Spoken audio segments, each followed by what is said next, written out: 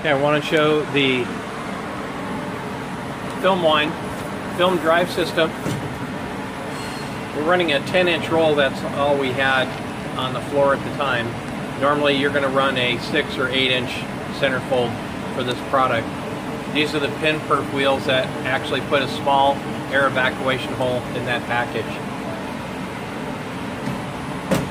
Very easy to load the film from the front of the machine.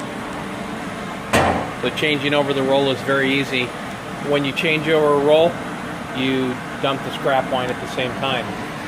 Now we're going to be running the long dog bone.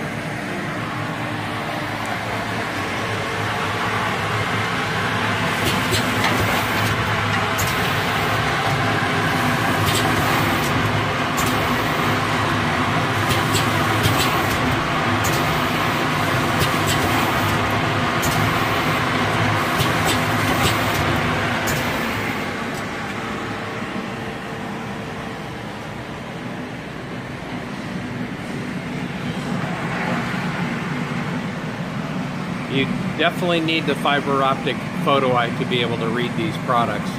Would not be possible without it.